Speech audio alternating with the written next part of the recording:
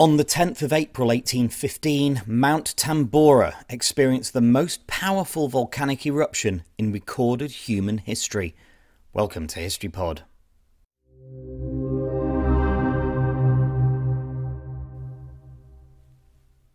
Mount Tambora is a stratovolcano located on the island of Sumbawa in present day Indonesia.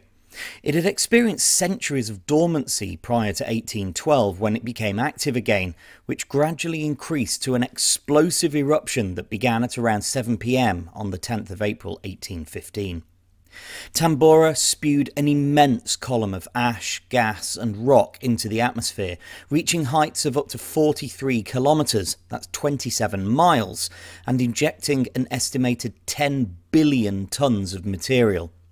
The eruption was so powerful that it could be heard more than 1600 kilometres, a thousand miles away, and the explosion itself was estimated to be four times more powerful than the 1883 eruption of Krakatoa, making it the most powerful volcanic eruption in recorded history. The eruption caused the deaths of tens of thousands of people, Pyroclastic flows, lava flows, and ashfall obliterated entire villages and settlements in the surrounding area.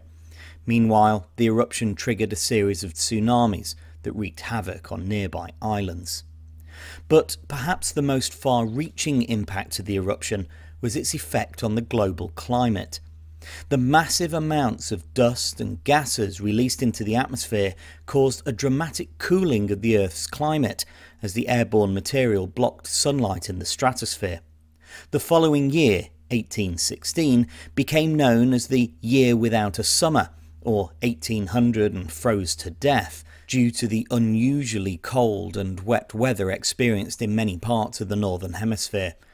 This led to widespread crop failures, food shortages, and famine that led to both economic hardship and social unrest in many affected regions.